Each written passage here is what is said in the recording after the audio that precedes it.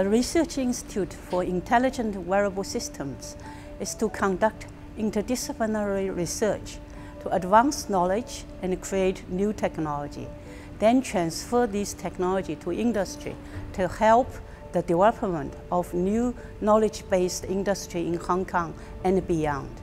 We have three areas of research, high-performance materials and devices that's suitable for wearables to develop scalable processing technologies for fabricating devices and system integration to apply these systems into different fields like health, sports, fashion, entertainment, and safety. We have developed technologies to use the existing machinery and the process, modify them to make the finest electronic yarn where the microelectronic chips are embedded in textile yarn. Then you can knit this yarn or embroider this yarn into fabrics to make devices and a system in piece of fabrics. And they can be used for monitoring personal uh, vital signs and conditions in the environment and also can do display, communication.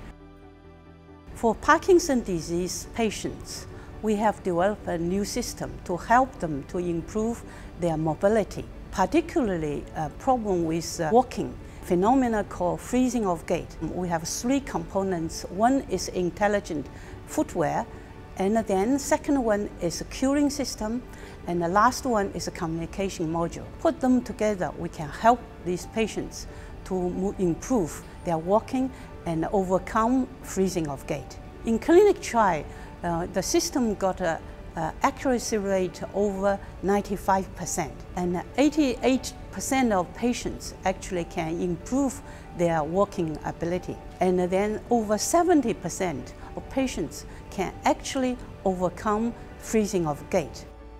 My research area is focused in the coating technology with sputtering technique. Uh, the sputtering coating technology is a sustainable technology for coloration in textile production. The manufacturer may use it without any chemical and without any water use during the production process. Different kind of polyester fabric can conduct with the sputtering technology.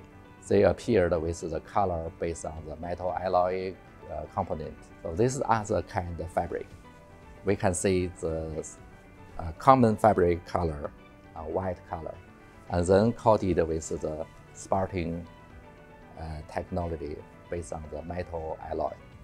Here at the Institute, we have been working uh, over the past 10 years on uh, highly flexible and stretchable conductive materials.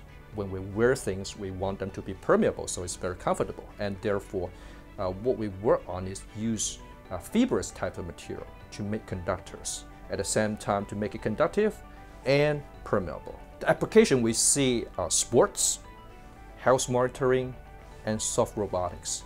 For the permeable stretchable uh, conductors we make can be used to build devices to monitor your heartbeats, your blood pressures, your uh, sweat uh, glucose, uh, sweat ions. Our flexible biosensors is based on organic transistors Due to the amplification function of the transistors, our devices can enable highly sensitive detections of many biomarkers like uh, glucose, uric acid, dopamine, RNA, and proteins. Although this type of biomarkers are usually detected from blood, our devices can enable non-invasive detection from uh, body fluids like uh, uh saliva, uh, sweat, tears because of the high sensitivity and can be used to detect many biomarkers simultaneously.